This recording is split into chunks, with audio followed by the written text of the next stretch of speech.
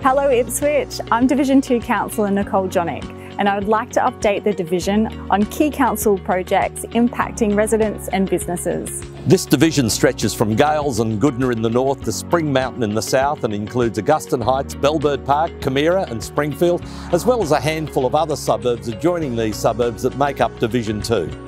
As part of Council's efforts to improve flood mitigation and drainage across the city, two flood gauges will be installed in Springfield Lakes. While the Springfield Lakes are not commonly prone to major flooding, suburbs downstream, such as Goodna and Gailes, are.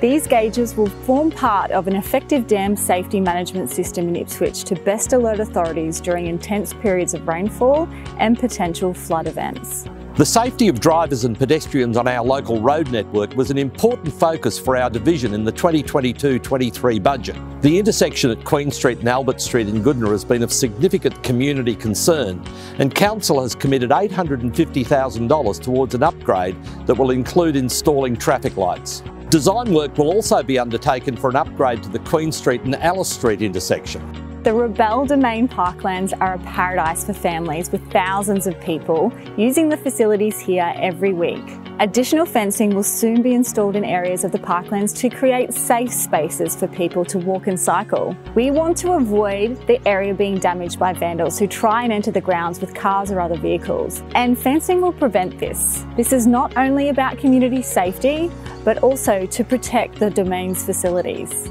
It's been 90 years since jacaranda trees were first planted on Brisbane Terrace here in Goodna, and a plaque has been unveiled to recognise the historical anniversary. They were planted in 1932 by work gangs during the Great Depression and are a testament to the resilience and strength of Goodna's community spirit.